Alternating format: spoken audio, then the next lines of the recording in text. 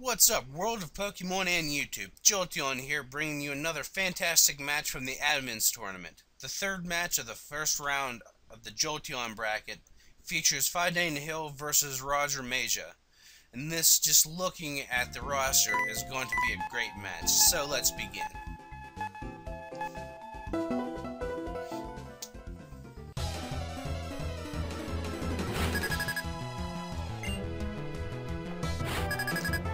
Fidane is going to lead with his Terrakion.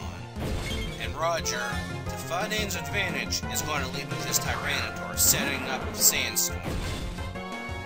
Now, this Sandstorm will increase Terrakion's defense, but he won't take advantage of it for very long. With the first round close combat, Tyranitar gets taken out in one fell swoop.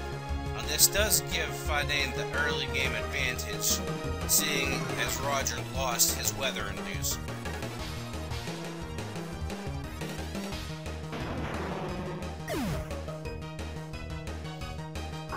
Sending out Cobalion this time, not wanting to take a close combat from this thing, Fidane's going to switch out Terrakion into his Ninetales to set up his own weather, his harsh sunlight.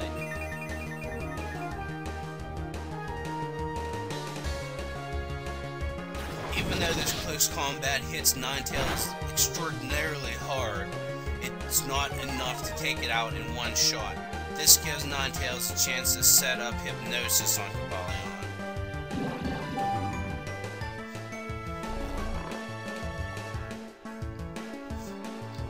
Fearing the fire attack, Roger's going to switch out his Cobalion, which is to give Ninetales a chance to beef itself up with Nasty Plot.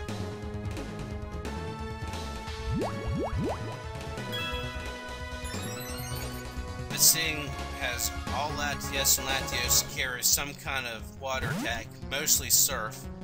Fidane's going to switch out into his Porygon 2 to take the attack.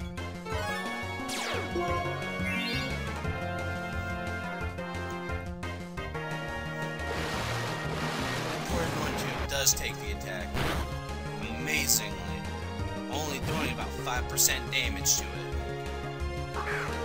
Seeing this damage, she switches out into Cobalion, expecting a status effect, which she successfully predicts. Not being affected, Cobalion is already asleep, so Roger has an advantage here, but he still can't do anything with Cobalion. So Fidane's going to switch into his Gliscor, which is going to take its Poison Heal.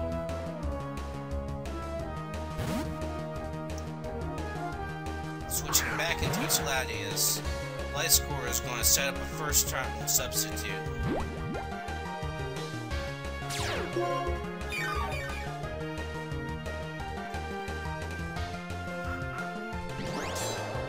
Getting the Swords Dance off, Latias is going to try to break this sub with Psychic. It manages to break it successfully.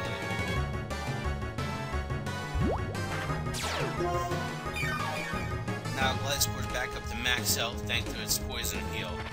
It hits Latias with a boosted plus 2 facade. It hits it hard, but Latias is able to survive it and counterattacks with its ice beam.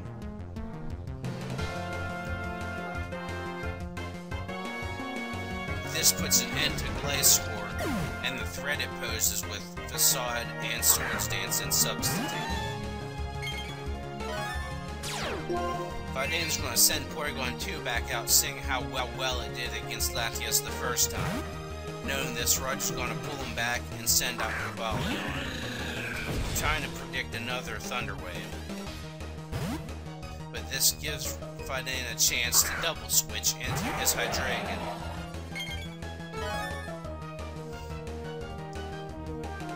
This point, I think Roger just wanted to fodder off Cobalion, seeing as how it wasn't doing anything asleep, and every time he switches it out, it does reset the sleep turns. So with a single flamethrower, Hydreigon does knock out Cobalion.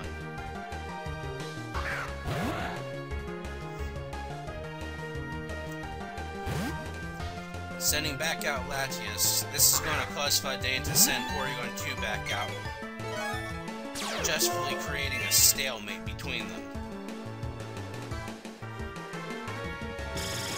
But this isn't going to cause Roger to switch out again. He's going to take his chances and see what he can do with Latias' Ice Beam. But he doesn't do much, so he predicts the Thunder Wave again, and successfully so, as he sends out Garchomp to sponge it up. Now this Porygon 2 isn't just specially defensive, seeing as how little damage it took from Dragon Claw, it is also physically defensive too. But even though its stats are defensively spread, a single Ice Beam was enough, enough to take out Garchomp, being four times weak to ice. Sending out Gigalith now, this 2 will get off a Thunder Wave successfully.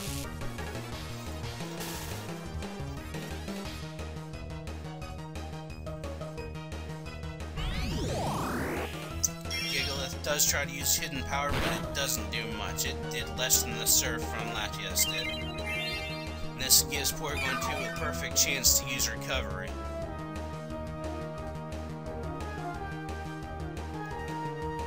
Hitting Porygon 2 with the Stone Edge, this does substantially better than the Hidden Power did. But even if it's defensive, Budding doesn't want to stay in with Porygon 2.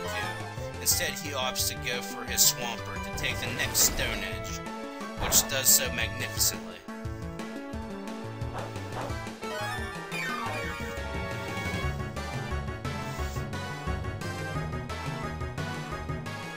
Hitting Gigalith with an Ice Punch, Swampert gets an amazing crit, which knocks down about half of Gigalith's health. Gigalith trying for the hidden power still doesn't do much damage. At this point, it's not going to be super effective or not very effective against anything in the match, so I'm unsure of what type that super that actually is. Here I thought the waterfall would be enough to take it out, but its defensive stature is enough to let it live by a sliver. And tries to hit with another hidden power, still not going doing much. Swampert in fact does heal off that damage with his leftovers. But one last Ice Punch is enough to knock out this Gigalith.